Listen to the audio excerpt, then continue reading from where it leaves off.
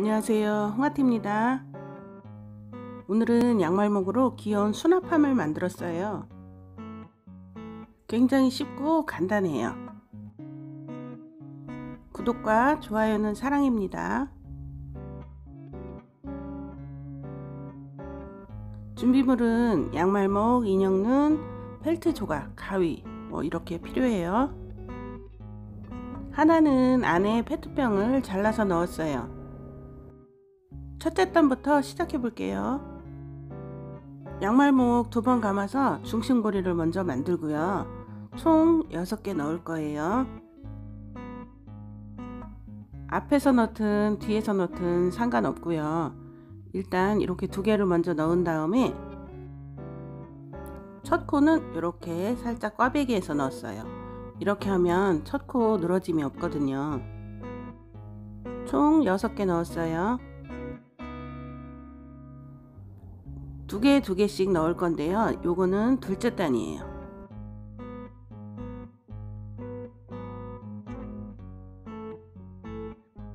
이렇게 걸은 다음에 제가 뒤쪽에다 항상 핀을 집잖아요. 이렇게 집어놓은 곳까지 넣어야지 그 단이 완성되는 거예요.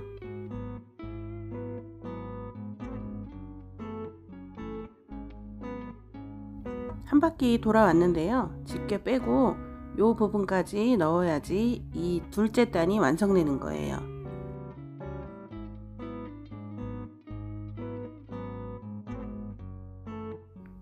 셋째 단은요. 하나, 둘, 하나, 둘. 이렇게 한 바퀴 돌면 돼요. 저는 첫 코 뜨고 표시를 항상 집게핀으로 하는데요. 옷핀도 괜찮고요. 양말목 다른 색깔로 걸어서 표시해도 괜찮아요. 지금 뜨고 있는 원형판은 기본 원형판 뜨기인데요. 익혀 놓으면 쓰임새가 아주 다양해요. 방석, 바구니, 가방 이런 데 다양하게 쓰여요.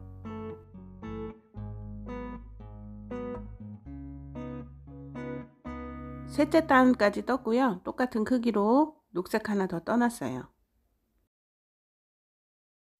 이제 위로 올라갈 건데요.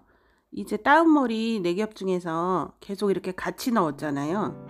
이제 중심 쪽에 있는 두 겹만 걸을 거예요. 이렇게 두 겹만 안쪽으로 되어 있는 두 겹만 걸어서 계속 진행할 거예요. 네 겹 다 넣지 않고 두 겹만 넣어서 거는 이유는 단이 꺾이면서 위로 올라가거든요.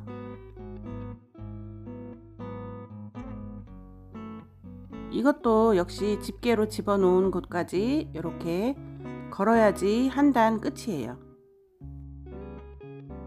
지금 한 단 뜬 상태인데요. 이렇게 한 단만 떠도 꺾어져 가지고 올라가고 있어요. 이렇게 쭉 떠서 저는 총 7단 떴어요. 페트병을 잘라서 안에 힘받게 한번 넣어 봤는데요. 형태도 잘 잡히고 좋더라고요. 페트병 잘라서 사용하실 거면 손 조심하시고 마무리도 깔끔하게 해야 해요.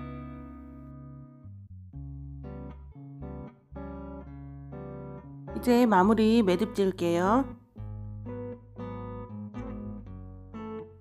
마지막 코를 이렇게 시작하는 코와 합쳤어요. 그리고 양말목 하나를 그 다음 코에 걸어서 이렇게 만나게 한 다음에 매듭을 지었어요. 매듭 짓는 방법 어려워들 하시는데요. 제가 계속 다른 방법으로 매듭을 짓고 있어요.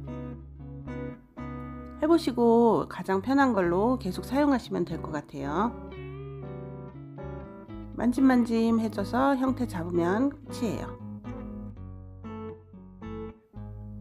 덮개용으로 뜬 녹색도 똑같은 방법으로 매듭 지었어요. 덮개 손잡이 부분 이제 만들 건데요. 목 하나 짝짝 늘리고요. 이렇게 가운데 중심을 잡았어요. 다른 양말목을 십자 모양으로 놓고요. 이렇게 빼면 중간에 걸렸거든요. 느리지 않은 그러니까 걸었던 양말목을 이렇게 중심고리 안으로 넣는 거예요. 이렇게 뒤쪽에서 보면 처음 시작할 때 6개 넣었잖아요. 중심고리 6개 넣은 쪽에 꼬리를 숨겨주는 거예요. 다 넣지 않아도 되고요. 한 두세 번 정도 하면 돼요.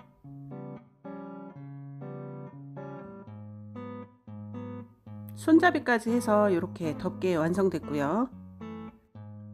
이번에는 덮개 손잡이가 좀 잡기 편하게 머리숱이 많은 덮개를 한번 만들어 봤어요. 방법은 똑같아요.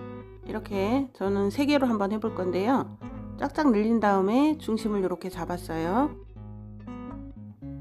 가운데 쪽에 이렇게 십자로 놓고 살짝 당겨서 걸었어요. 중심고리로 놓고 뒤쪽에서 꼬리를 숨숨 숨겼어요.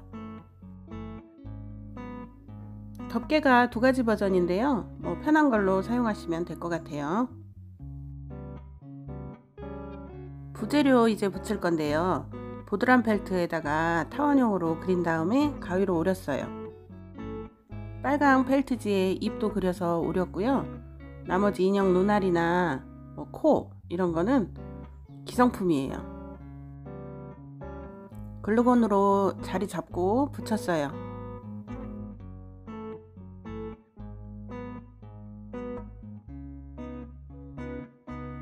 얼굴 표정은 완성됐고요. 이제 덮개 부분 튀어나온 그 머리숱 부분을 잡아야 되는데 조금 흔들리더라고요. 글루건 조금 짜서 고정시켜 줬어요.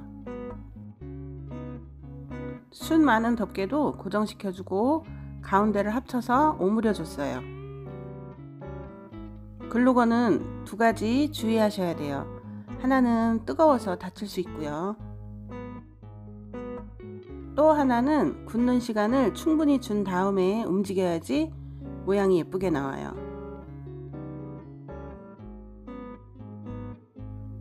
이제 완성이에요.